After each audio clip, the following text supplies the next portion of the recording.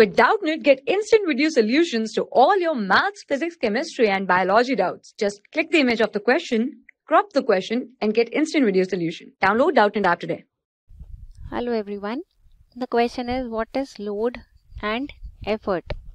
So these terms are associated to simple machines. Simple machines where load is the term used for the heavy object on which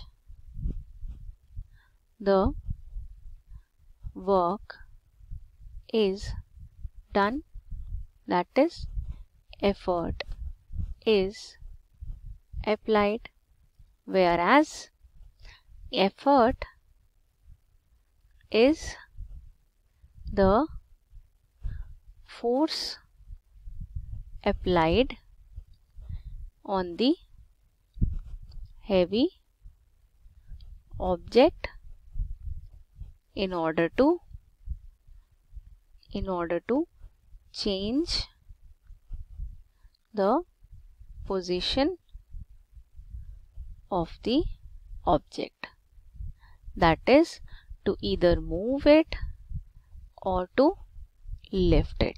Hope you've understood this well. For class 6 to 12, IIT JEE and NEET level. Trusted by more than 5 crore students. Download Doubtnut app today.